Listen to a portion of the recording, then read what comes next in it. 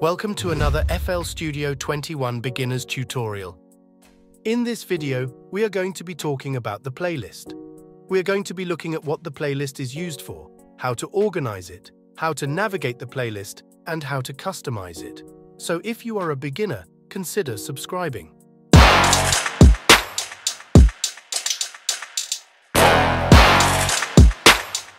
So the playlist is where you place, play and arrange the elements of your project to make a final song.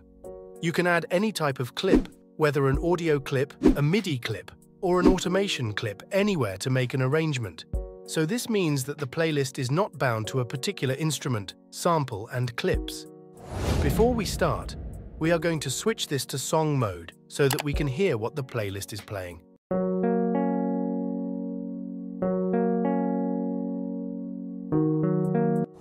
First thing we have is the main menu.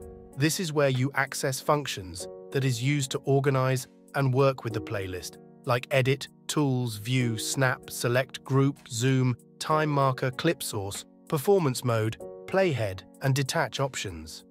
Next thing here is the toolbar, which consists of the playlist snap, which is used to snap clips to grid.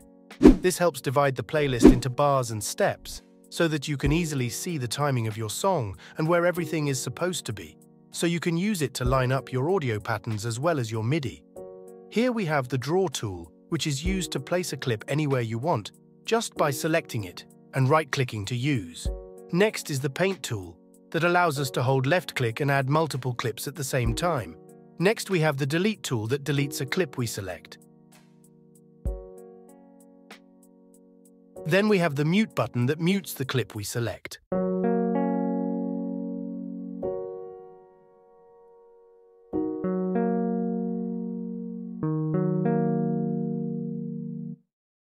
And the slip edit that is used to slide the clip's content left or right relative to the timeline while retaining the start or end points of the clip. Then the slice tool that helps us chop different clips at the same time or individually by also selecting it and right-clicking to use. Next, we have the Selection tool. This is used to select one or more clips. Next, we have the Zoom tool that helps us to zoom in by left-clicking and zoom out by right-clicking. Next, we have the Playback tool that is used to play a particular clip or group of clip at any time by selecting it and left-clicking.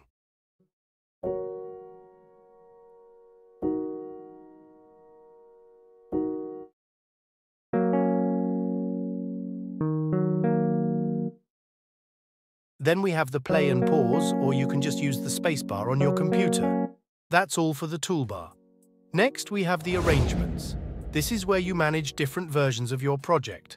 For example, if you want to try a different arrangement for your project, you can just click here to get an empty clips track area, where you can add your clips to make new arrangements and still keep the old one.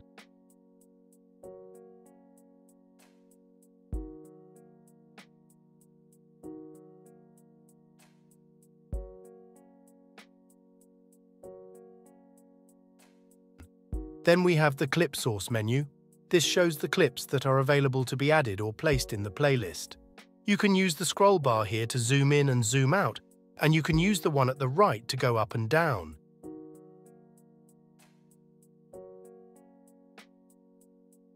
Next we have the timeline. This is used to make a vertical selection across all tracks. And you can also add something called time markers by right. Clicking on the timeline, and select Add Marker.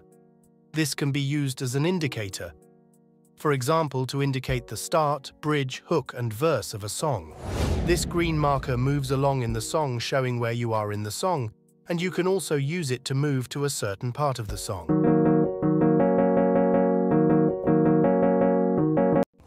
Here is where we add our clips, such as audio patterns, MIDIs and samples.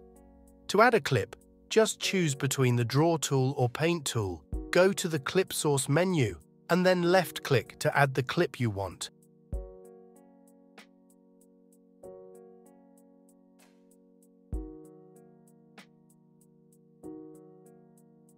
Or just drag and drop from the Picker panel, which is like the Clips Manager. It shows all the clips in the project, and it is organized according to pattern clips for all patterns. Audio clips for every audio clips you have in your project, and then automations. As a beginner, I know you don't know what an automation is, so I'm going to be making a detailed video on it, so make sure to subscribe to the channel, like this video, because it helps our channel a lot, and leave a comment.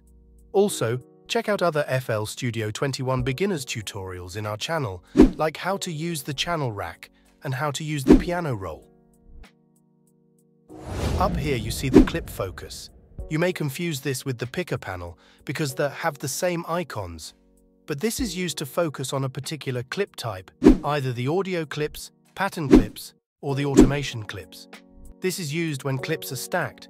When a clip type is selected, the clips associated with it is brought to the top for selection and editing. Now when you click on any icon, the little icons under it changes. For the audio we have the show fades, zero cross and stretch. For the automation we have the step and slide, and for the pattern we have the note, channel, and the pattern.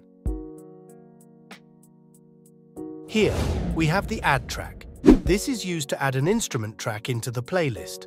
For example, if you want to add an FL Keys into the playlist, just click on it, select FL Keys, and now add your notes. Next, we have the playlist track header. If you right-click here, you can change the name, color, icon, size of the particular track. In the track header, we have the mute button. This is used to mute a track just by left-clicking. But if you right-click, it mutes every other track except the one you clicked on. Then here we have the track selector. When this is lit, it means the track is selected. To select a particular portion of a clip, you can either drag it or you can use the slice tool to cut the clip.